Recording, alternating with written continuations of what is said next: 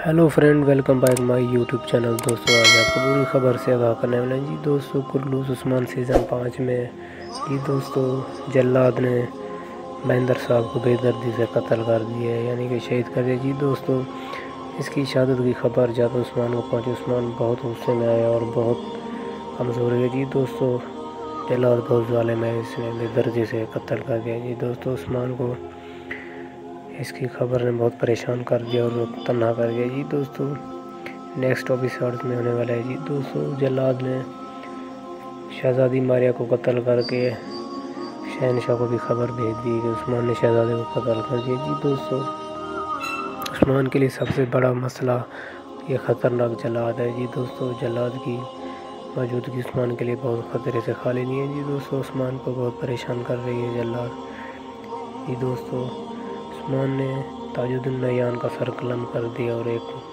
मंगोलों की तरफ़ से ये ख़तरा ख़त्म हो गया। जी दोस्तों, अब जल्लाद उस्मान के लिए सर का दर्द बना है। जी दोस्तों, अगर वीडियो अच्छी लगे तो हमारे इस चैनल को ज़रूर सब्सक्राइब करें और इस वीडियो में मैं आपको दिखाने वाला हूँ कि जल्लाद ने किस तरह बैंदर भाई का सर कलम किया है। जी दोस्तों, वीडियो एंड तक लाजमी देखें और अगर इस चैनल पर आप ना आए तो हमारे इस चैनल को ज़रूर सब्सक्राइब कर दें और बेल दबा दें ताकि हर वीडियो आप तक पहुँचती रहे। जी दोस्तों जब जल्लाद के पास गया था बेंदर भाई मासूल लेने के लिए तो जल्लाद ने बेदर्दी से मार दिया जी दोस्तों, मिलते हैं नेक्स्ट वीडियो